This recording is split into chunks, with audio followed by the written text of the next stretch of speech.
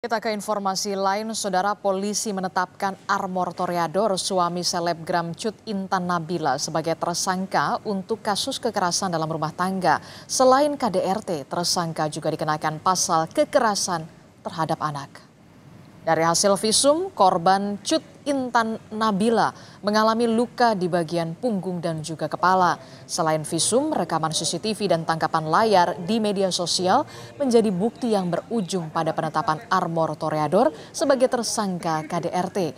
Polisi menyebut penganiayaan korban dipicu tersangka yang marah saat dipergoki tengah menonton video porno saudara.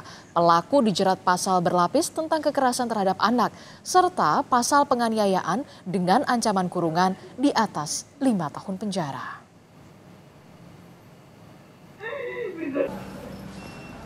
Lebih dari lima kali. dalam rentang waktu Sejak kapan Pak? Dari semenjak dia menikah. Bisa jadi si tersangka ketahuan menonton video porno hasil pemeriksaan tersangka. Namun kami ingin menggali pemeriksaan dari korban. Karena kemarin faktor psikologinya masih trauma, kami berinisiatif menghentikan dulu sementara pemeriksaan terhadap korban.